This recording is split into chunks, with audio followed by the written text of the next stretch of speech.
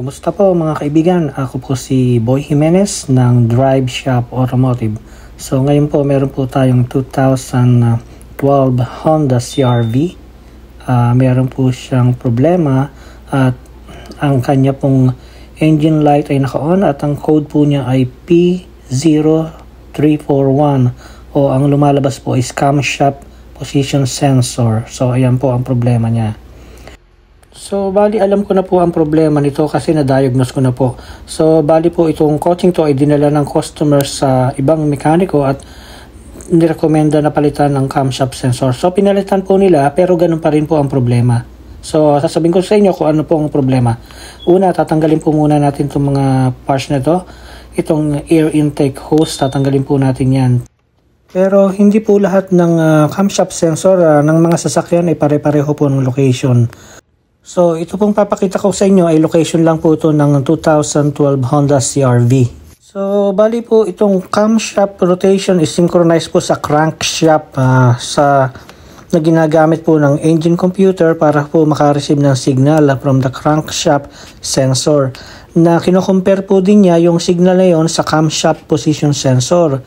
Take note po, magkaiba po yung camshaft position sensor sa crank shaft position sensor. So ito po yung uh, location ng camshaft position sensor ng Honda CRV. So yan po yung may kulay blue na connector. So so nakabolt lang po yan ng uh, number 10. Tatanggalin po natin yan. So ito po yung camshaft position sensor. So yan po. So, ang gagawin ko po, papalitan ko po to ng original parts ng Honda na camshaft position sensor. So I always recommend po na gumamit tayo ng original na parts ng Honda na camshaft position sensors para sa mga kotse ng Honda.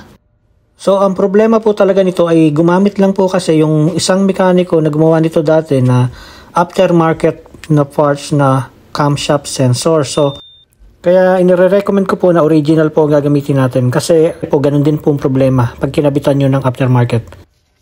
So, ang function po ng uh, camshaft position sensor ay uh, ginagamit po ng computer po yung signal ng camshaft position sensor para po malaman po kung uh, kung alin po yung cylinder ang nasa compression stroke kasama na rin po yung control ng timing, ignition timing, fuel injection at yung mga variable timing system po kung equip po yan.